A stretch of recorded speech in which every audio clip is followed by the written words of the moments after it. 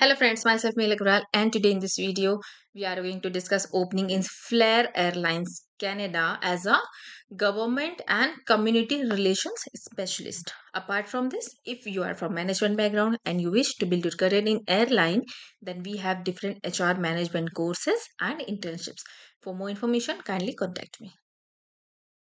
In this role, you will work in department under executive officer and corporate services okay so this work arrangement is in person the government and community relations coordinator works in a office based environment located at their corporate office in AB Calgary. So the government and community relations coordinator will be expected to travel on an occasional basis to support in person meetings and occasionally work weekends as required okay? So the government and community relation specialist will be responsible for variety of strategic and administrative duties.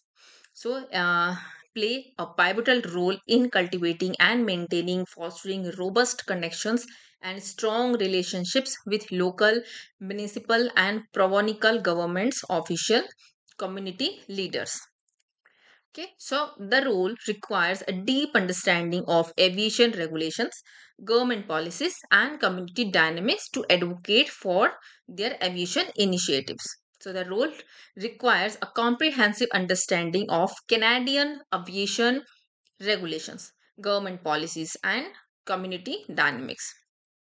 Okay, so you must be comfortable managing multiple shifting priorities and dealing with emergent requests that are often time sensitive and will be accountable for the some duties. Like for this professionally represent flair at external meetings forums and workshops.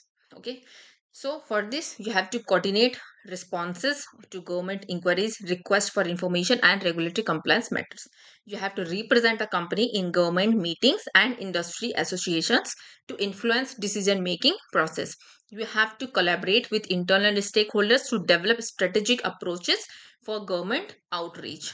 Then stay informed and updated with the government policies in canada Okay, so schedule meetings, take accurate meeting minutes, prepare reports and other written material and briefing documents for internal and external stakeholders.